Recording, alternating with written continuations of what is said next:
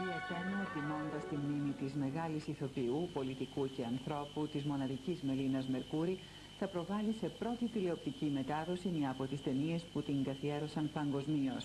Το ποτέ την Κυριακή σε σενάριο και σκηνοθεσία Ζιλ Σεν. Ένας ελληνολάτρης Αμερικανός συγγραφέας προσπαθεί να γίνει ο δάσκαλος μιας λαϊκής κοπέλας από τον Πειραιά για να διδαχθεί τελικά από την ίδια τη χαρά της ζωής. Για αυτή την ταινία η Μελίνα Μερκούρη τιμήθηκε με το βραβείο Γυναικείας Ερμηνείας στο Φεστιβάλ Κανών και ο Μάνος Χαζηδάκης με το βραβείο Καλύτερου Τραγουδιού.